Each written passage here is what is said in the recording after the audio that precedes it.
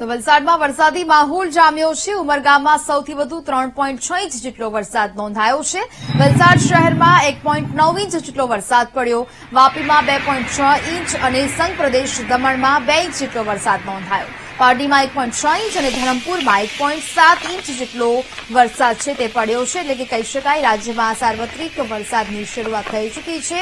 રાજ્યના અનેક અનેક અનેક જિલ્લાઓમાં વરસાદી માહોલ છે તે જોવા મળી રહ્યો છે. વલસાડમાં પણ વરસાદી માહોલ છે તે જામ્યો છે.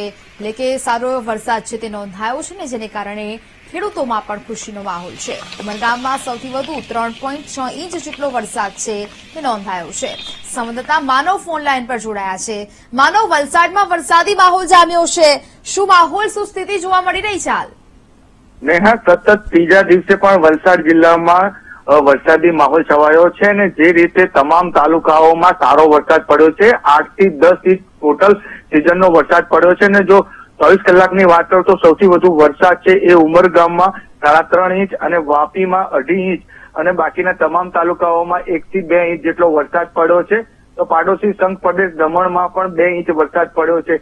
અને જે રીતે વરસાદ પડી રહ્યો છે તો તેના કારણે જે દરિયા અને જે પટ્ટી વિસ્તાર છે તેમાં દરિયામાં પણ કરંટ જોવા મળી રહ્યો છે. ખાસ કરીને ભરતીના સમયે દરિયો તોફાની બનતો હોય છે.